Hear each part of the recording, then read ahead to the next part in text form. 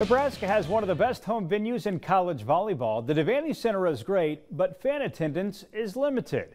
So the Huskers may play a match inside Pinnacle Bank Arena next fall. Head coach John Cook hints that a non-conference event is in the works. Nothing is final, but expect the Huskers to play in PBA in 2025. Outside hitter Harper Murray will be back playing in front of Husker Nation this weekend. The red-white scrimmage is on Saturday. Murray did not participate in Nebraska's spring match as she battled legal troubles.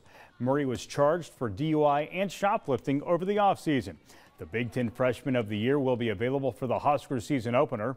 Head coach John Cook says Murray has taken the necessary steps to get back on the court. I just think she's been humbled and, and she's mature. She's done a lot of work she's trying. It's it's not perfect every day. The biggest thing I've seen in Harper is she's she's really matured. And over the past year, like obviously the support's just like flooding every single game. I mean, the support from our fans is tremendous and they've always been that way.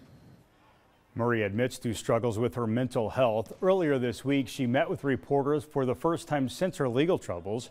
Murray deferred on a question about her teammates helping her through the offseason. Cook says she didn't answer it in fear of an emotional response.